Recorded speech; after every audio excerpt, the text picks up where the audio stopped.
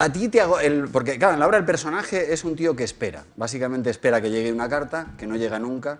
¿Hay alguna espera a ti que te haya agobiado en la vida?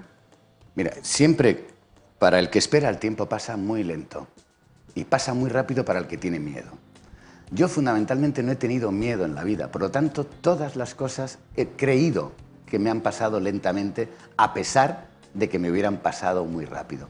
Y entonces yo toda mi vida es una espera plácida. Vivir también es, vivir es acometer, vivir es amar, vivir es querer de verdad eh, y vivir es esperar.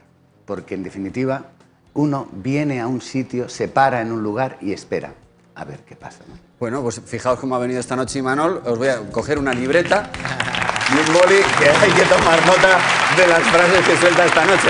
Volvemos en un